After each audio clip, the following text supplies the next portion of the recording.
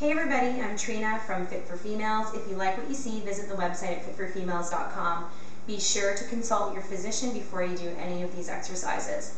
I'm bringing to you the, the December Motivation of the Month Challenge. It's also called the Mom Challenge at Fit for Females. This month, it's eight minutes. There's eight exercises. They're one minute each. You're always going to do three plyometric jumps or squats in between each exercise. It will begin and end the challenge. So for low impact, you would do four squats. You'd come down, squat, knee up, lift. You'll do this four times. Okay, so four times. One, two, three, and four. If you'd like a high impact version, you're gonna do a plyometric jump. So when you jump up, slap the knees, land softly, do it again, three times. You're working up to height over the month. First exercise, so you'll do three to start, is a band row. You can secure this around your feet, or you can use a post, uh, something that's secure. Pulls, so they're band rows. If you have a band at home, you're just gonna row right back. Chest up, shoulders back. If you do not have a band, you can also do a weighted row where you're bent right over, bend through the hips, chest right down, you can use that arm to support and you'll row up 30 seconds. So you do 30 seconds on each arm if you're doing it this way. Second exercise is going to be a deadlift. So again, after that move, three plyometric jumps. Chest up, stiff leg, come down, pull up and through. Making sure those hips come up and through, don't arch back. Next one is going to be a ball pike. So you got a couple different versions of this one. You can do, if you're not strong enough to do a pike, you'll stick to a basic plank. You can work up on your knees, okay? Go to the toes. Once you're strong enough to get there, you can try to go to a ball. So you can do a ball plank. Okay, you can also take this from your knees, nice and strong. Okay, the ball pike would be for somebody who's a little more advanced. I can take little body on the ball or less body on the ball.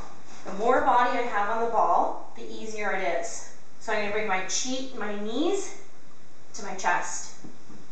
Come back out in a straight line. Make sure that you're not dropping down. Very, very important. The more foot you have off the ball, the more leg you have off the ball, the harder it is. The fourth exercise is going to be a squat. You'll go right into it. Again, the three plyo jumps always in between is going to be a squat, outer thigh. So chest up, squat right back, check your knee alignment, lift up. Squat, lift up. So the front version, squat, don't lean, nice and tall. So it's a squat and just a little press. Okay, so then we drop those weights. We're going to go to a plank jack. So that's one minute for that exercise as well. Plank jacks can be done on the floor. Plank jacks can also be done on a ball. So I would suggest starting on the ground. If you're not strong enough to get both feet up, just a little windshield wiper um, direction with your knee.